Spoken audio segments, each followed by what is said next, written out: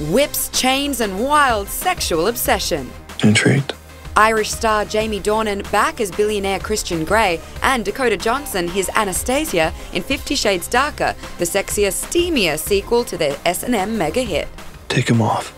Good to see you. Jamie and Dakota telling me how they got through filming those racy scenes the second time around now that they've become good friends. Does that make it easier or does it make it weirder? Easier for sure. We laugh a lot. Because there, come on, there are some pretty ridiculous situations you find yourself in.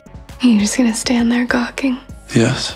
But despite the on-set antics, sometimes Dakota says those kinky scenes were tough to film. It's often kind of scary. But fans set to blow up the box office when it opens just in time for Valentine's Day.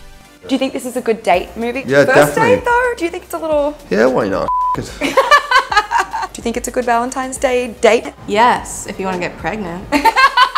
Consider yourself warned, Fifty Shades Darker hits theaters Friday.